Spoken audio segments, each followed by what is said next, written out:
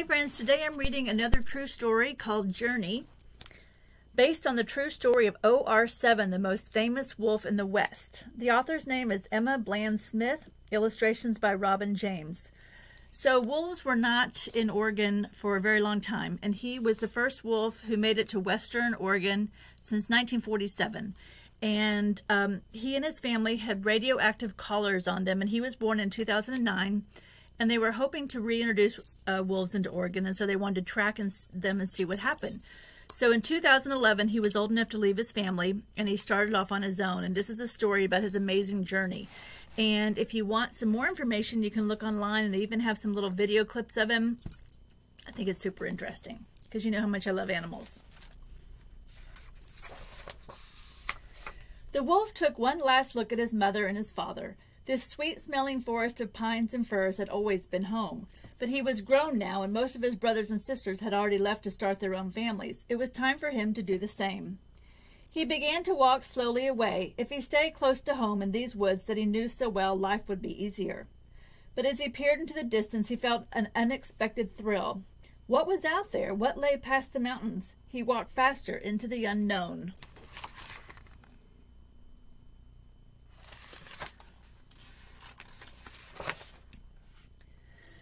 Abby pulled herself onto a stool at the diner. Some ranchers at the next table were talking. Did you see that? There's a wolf headed our way. Abby and her dad read the article that ranchers were talking about. They learned after a long time ago there had been wolves all over the country. Were there really wolves here before? Abby asked her dad. Yes, he said, there were thousands of wolves here in Northern California. They continued to read the article and learned that biologists were trying to reintroduce these magnificent animals to areas where there are vast stretches of wilderness. Not too many roads and not too many farms, just right for wolves. Then, about a year ago, something happened. A wolf in northern Oregon, OR7, left his pack, crossed a mountain range, and was now traveling steadily southward toward California. Oh, I hope he'll come to California, said Abby. But she guessed that would be unlikely. Now, think about why ranchers and farmers might not like wolves. The wolf stepped over some fallen trees. His sharp ears heard a low click, and he turned his head toward the noise. His powerful nose caught a lingering scent of humans. His tail dropped down and he froze. The humans weren't here now. His senses told him that. But had they they had been not long ago. He veered away sharply and headed into the dense forest. He's so beautiful. Remember, we've talked about ecosystems, and wolves are a very important part of an ecosystem. So when you take the wolf away from the ecosystem, it's not as healthy as it was when the wolf was there. So that's why it's important to reestablish wolves where they should be. Abby froze with her spoonful of cereal halfway to her mouth. The wolf stared out from, from the television screen, the first photo of him ever. So that's what he looks like, Abby thought. The photo had been snapped by a hunter's hidden mo motion sensor camera near Butte Falls in southern Oregon just 38 miles from the California border. Dad, look, Abby said happily. She turned and grinned at her dad, but he wasn't grinning back. That poor fellow better be careful, Dad said quietly. Abby's smile disappeared as her dad explained that while most people were excited to welcome back his shy visitor, others thought that the wolf would hunt their sheep or cows and it would, should be chased away, or worse. Abby was so worried she could barely sleep that night.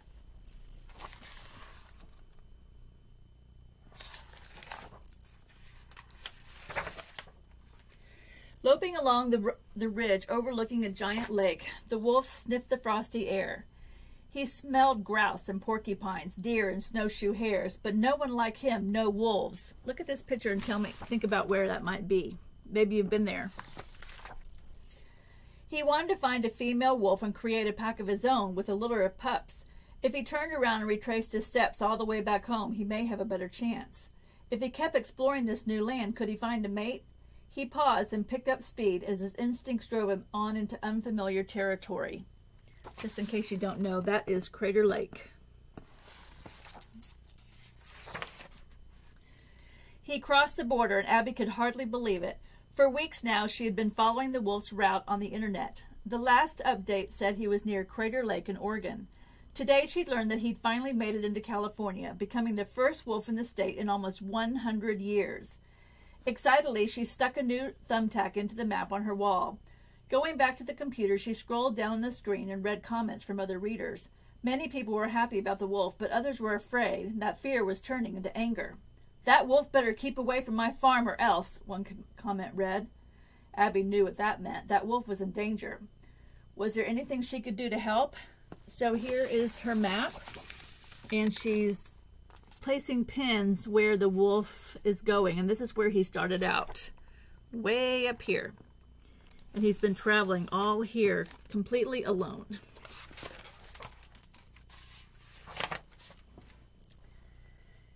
The wolf pushed on, weaving around boulders dotting the dotting the fields. As he traveled, the sun rose over the enormous mountain, and meadows gave way to forest. Deer grazed, froze, then fled, and rabbits zigzagged wildly through the thickets.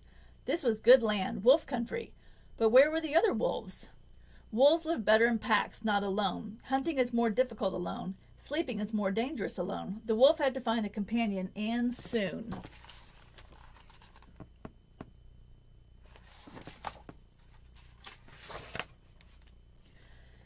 A contest to name the wolf, cried Ashley, Abby, sorry, listening to a local radio broadcast. A conservation group was asking children to send in their suggestions.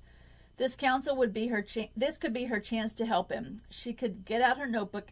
She got out her notebook and pencil.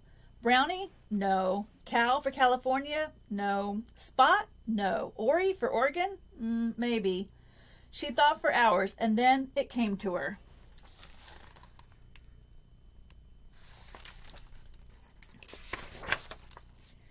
One day, after he'd left the mountains for the flat, dry plains, the wolf spotted an animal in the distance, racing through the sagebush. Two of them, three, a whole pack. Not quite wolves, though, coyotes. He quivered with excitement. Slyly, shyly, he introduced himself, and they ran together. Could he make a pack with these creatures? Coyotes and wolves are similar, but they're not the same for sure.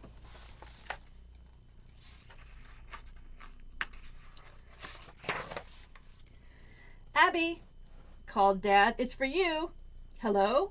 Abby wasn't used to getting phone calls. Her confused look became a smile as she turned to her dad and said, They chose Journey. They chose my name. After that, the news spread like wildfire. Within days, the whole world seemed to know about Journey the wolf. That week, Abby's teacher taught a lesson on gray wolves. Her cousins in New York called to say they'd read about Journey in the paper. Even her grandparents, far away in Mexico, heard the news. Journey was famous, too famous to harm, just as the contest organizers had planned. Abby hoped he would be safe now. Back in her room, Abby studied her map. The trail of thumbtacks showed that Journey had turned around. He was still in California, but heading north, and that made Abby nervous. Would Journey stay here or head back? Now, all over the world, perhaps people were watching, listening, and hoping.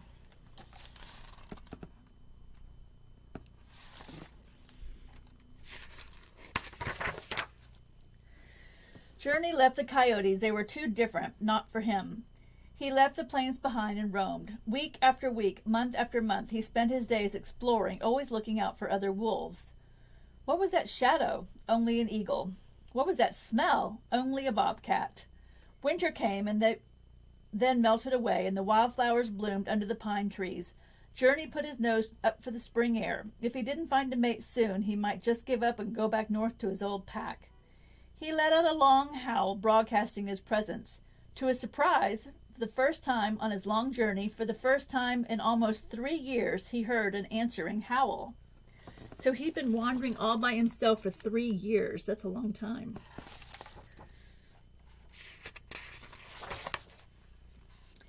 There's a girl wolf. Abby stared at the newspaper. A wildlife biologist had taken photos of Journey and another wolf smaller than him and jet black a female. They were in Oregon, just on the other side of the California border.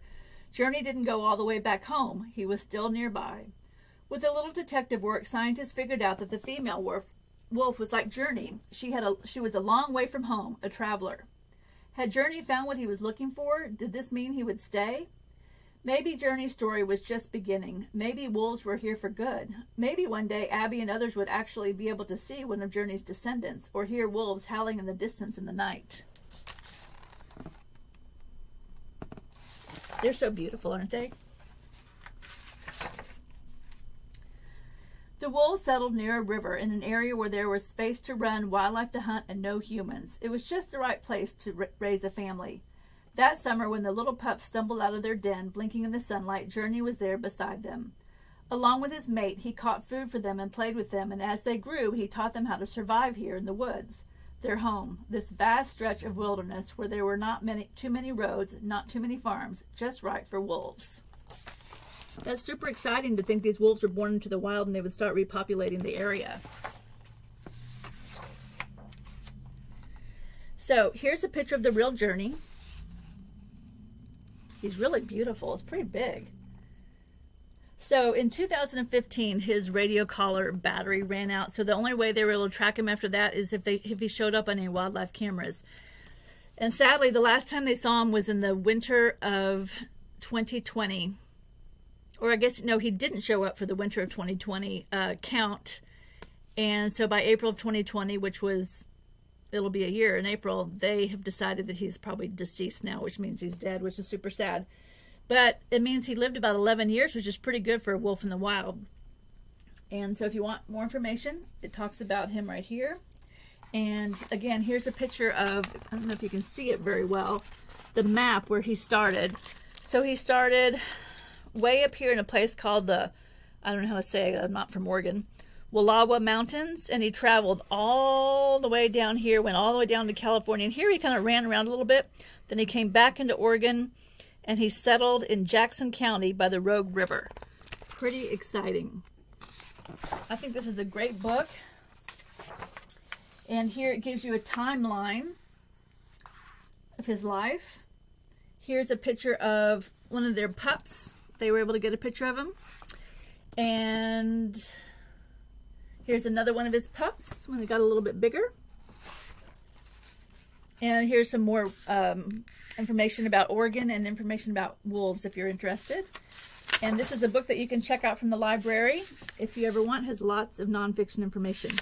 I hope you enjoyed the book. I think it's super fascinating. You know how much I love animals and wildlife. All right, friends, happy reading.